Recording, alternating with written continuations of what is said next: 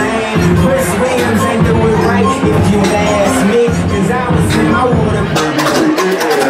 Gucci, my nigga. At the Playboy Mansion.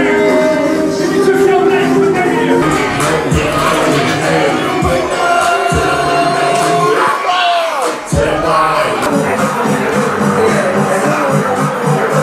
outside of the Playboy Mansion and we're just walking back to the shuttle, but I just wanted to show you guys a little bit of how it's decorated. It's gorgeous, so pretty, and I wanted to actually show you guys the little star that I usually take pictures of. You Guys, the little star is cute.